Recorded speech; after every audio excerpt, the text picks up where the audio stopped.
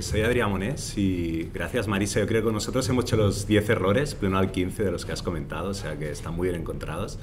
También gracias al festival, yo como usuario soy muy fan de filming y como usuario también soy muy fan de media, porque estudié allí el programa de Media Business School, que sirvió para entrar en este sector y la verdad que es un sector que me gusta mucho y conocí a Marisa allí también, que es un plus de, que tenía poder estudiar allí. Y luego, no sé si tengo aquí el botón este.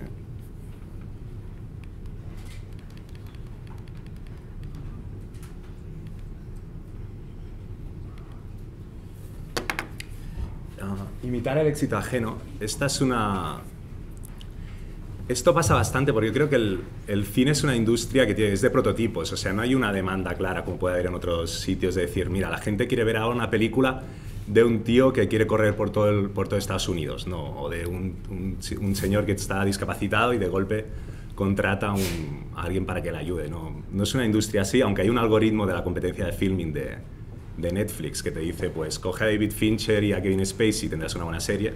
No sé si hace falta un algoritmo para hacer esto, con esto creo que también podríamos hacer una buena película, una buena serie, pero sí pasa bastante de, de seguir haciendo siempre lo mismo. O sea, que tú tienes un, una idea, tienes algo que te funciona. A veces nosotros, bueno, voy a empezar a, me he olvidado presentar. Filmax, más o menos igual conocéis, pero es productora, casa de ventas y distribuidora.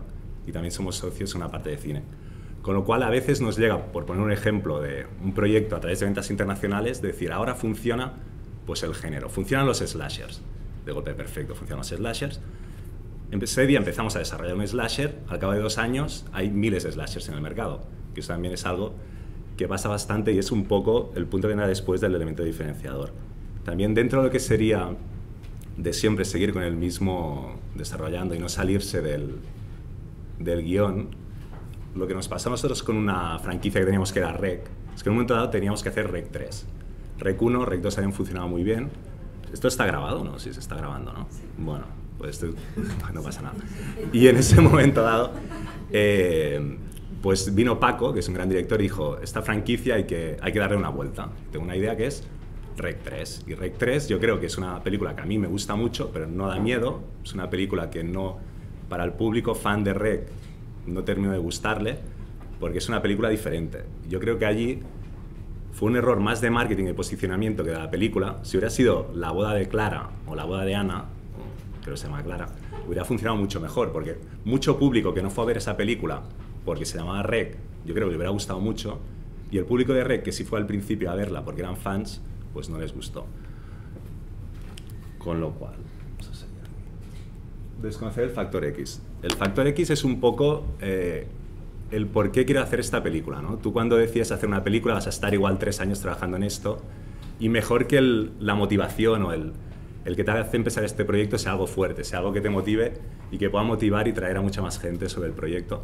Voy a aprovechar para hacer un poco de propaganda y aprovechar un error de Marisa. Vamos a estrenar una película el 4 de noviembre, el último trimestre del año, después de San Sebastián, que se llama 100 metros. Es una película con Dani Rovira, Carla Lejalde.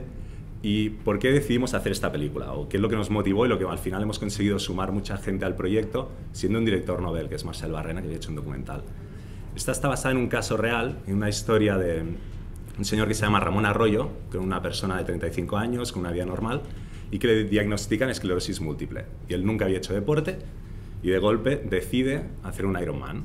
Y nosotros, pues, nos pareció que después de conocerlo a él y la historia, una historia de superación, que nos gustó mucho, y luego hemos ido trabajando este guion y hemos llegado a hacer una película que nos ha gustado mucho. Como lo cual yo creo que aquí sí que empezamos con un elemento especial que era esto, que era el disparador, y hasta llegar incluso a hacer algo que un poco decía Maris antes, que incluso hemos hecho un test screening al final para ver, llevarlo más hacia algo de marketing. Es algo que no se hace mucho en España. Yo creo también por miedo a ver qué sale. En este caso salió muy bien, con lo cual estamos contentos y tenemos un poco todos los elementos, que es, yo creo que es una historia de superación, con un casting que es eh, Dani Rovira, Carrera de Jalde, que es un casting en este momento yo creo de lo más popular, una historia bonita, una historia que funciona muy bien y que incluso el pase que hicimos son, con músicas de referencia, sin etalonar, sin mezclar, que esto es algo también que es un poco un error bastante de productores de enseñar las películas cuando están terminadas, cuando nadie sabe verlas, pero bueno, en este caso lo hicimos también y funcionó, pero eh, yo sí pienso un poco que es esto, que es de igual el año que viene estaré aquí para contar los errores que hemos hecho, pero que en este caso sí tenemos todos los elementos, pero podría ser un poco una historia diferente que podría, podría funcionar. Director con otra visión. Aquí voy a poner varios casos de lo que sería talento, que es básicamente lo más importante para una película, es el director, el guionista, el casting y luego lo que sería el equipo técnico. ¿no? Tú tienes una visión, dices, pues, por ejemplo, vas a ir con el ejemplo de 100 metros, que vamos a hacer esta película. Y de golpe buscas un director que todo lo que ha dirigido no tiene nada que ver con eso, pero por lo que sea lo pones. Esto puede parecer algo que nadie hace, pero pasa bastante. O sea, nosotros también, eh, incluso nos ha pasado con opcionar un libro de golpe y decir, bueno, este libro nos gusta porque tiene este factor X, ¿no? Por ejemplo, opcionamos un libro que se llama Todas las chicas besan con los ojos cerrados. Este libro era una, una comedia romántica escrita por un chico y que tenía por nosotros algo especial. Y, y luego decidimos que el guionista se adaptara él mismo. Primer error, que nunca hay que hacer, pero nos convencieron, no lo hagáis. Luego, de golpe, el pobre guionista eh, empezamos como a, cambiar bastante, porque nosotros trabajamos bastante en equipo. Para lo bueno y para lo malo tenemos ventas internacionales y distribución y producción en la misma empresa. Con lo cual, sería perfecto para coordinarnos y que no hubiera ningún fallo, pero por otro lado tampoco tenemos un frontón.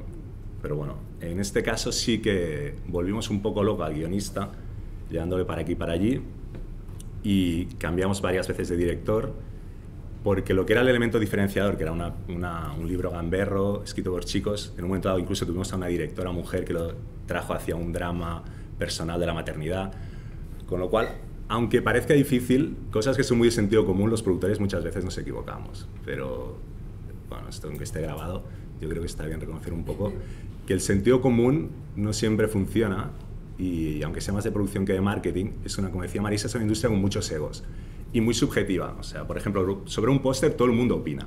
Tienes un póster, preguntas a quien sea, todo el mundo tiene una opinión muy elaborada. Sobre un plan financiero en Excel, un plan de recuperación, ya da más pereza a la gente opinar.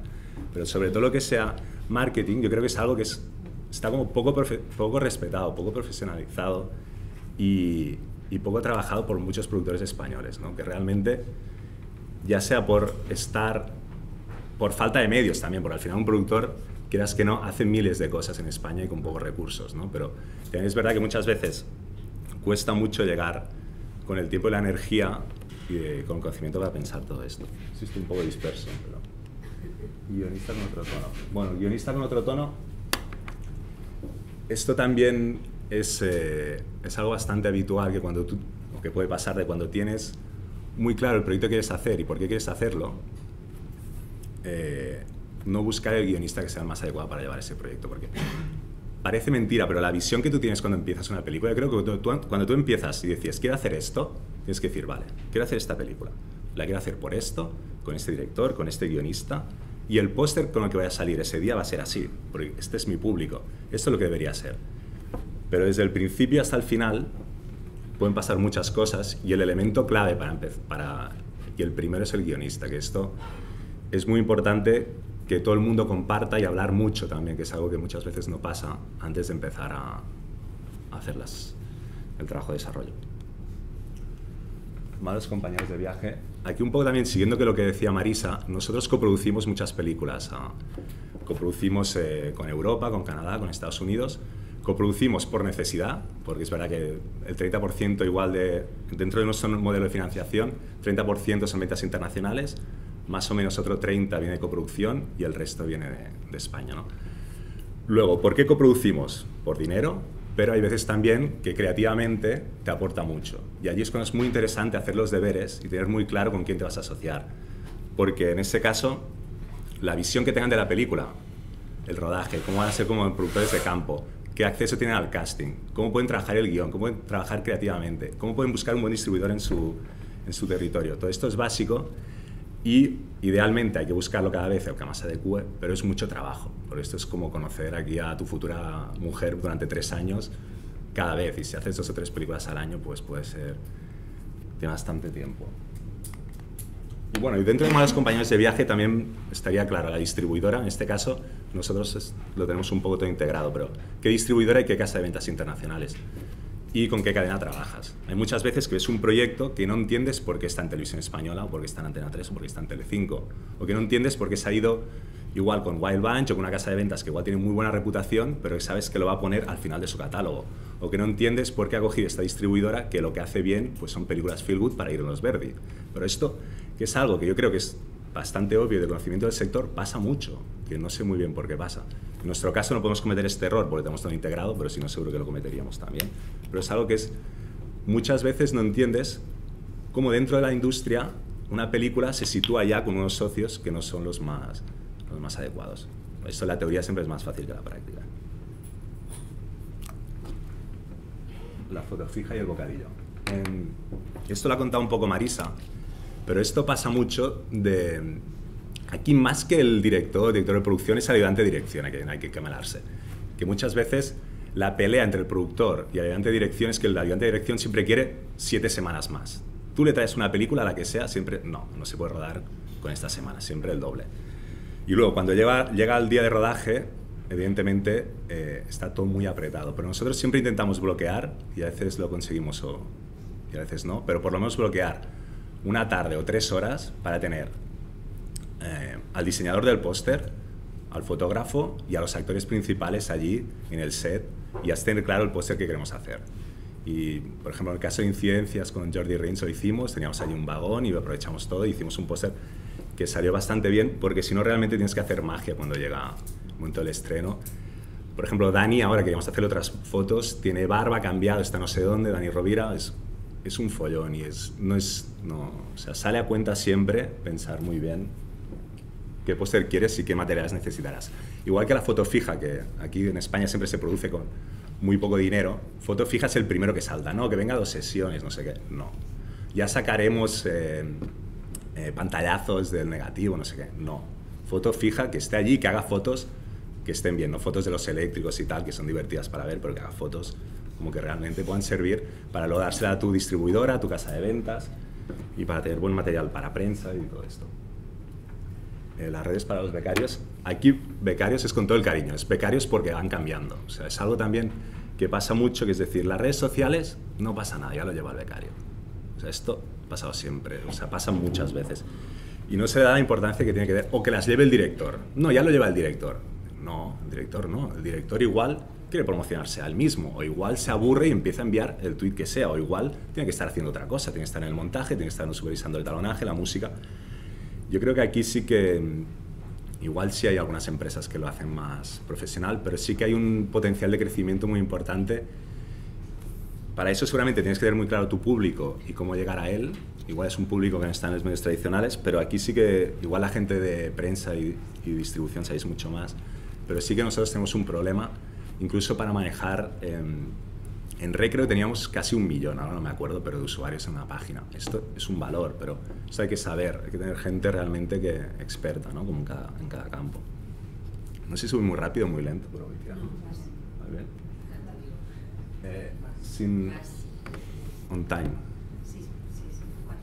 Vale. Sin artworks no hay ventas. Em, eso es un poco lo que veníamos contando, de tener muy claro eh, la creatividad o cómo vas a vender la película. Y para eso necesitas material muy potente. Es un poco ya repetitivo lo que hemos contado Marisa yo antes, pero realmente tener muy claro qué póster estará el día que alguien va al cine, aún hay gente que va al cine y dice, ¿qué peli veo?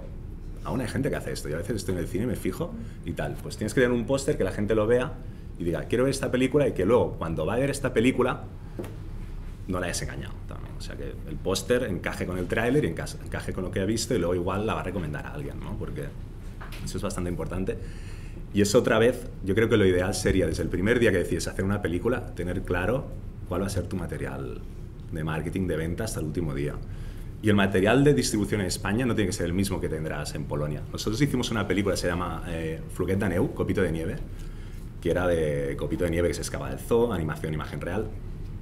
Eh, en Polonia hizo más taquilla que en España, porque tenemos un muy buen distribuidor. Él cogió, la, cogió el póster, puso Copito de um, Snowflake en Barcelona, Copito en Barcelona, puso allí a Copito, el gorila, en el Parkway con un trancadís allí muy bonito y pam, hizo un taquillazo. Luego, si de golpe el director dice no, o sea, yo, hay directores que tienen aprobación del póster o el distribuidor, o productores que dicen no, no, no, este póster no. No, cada uno, cada distribuidor conoce su mercado.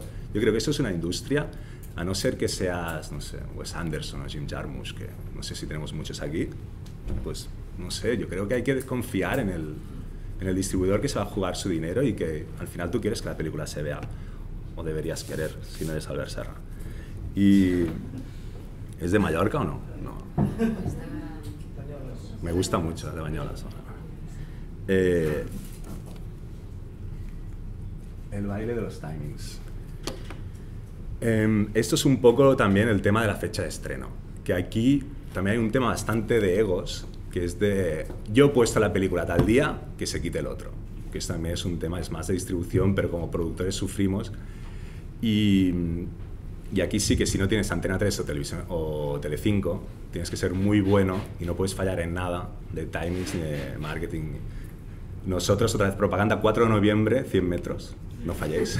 Pero es verdad que el, último trimestre, bueno, es complicado, hay que, hay que ser muy bueno y aquí es donde el distribuidor es el que realmente te tiene que aconsejar como productor y que es el que tiene que conocer perfectamente, haber visto qué películas de las que se van a estrenar, en qué fechas, tener muy claro la estacionalidad.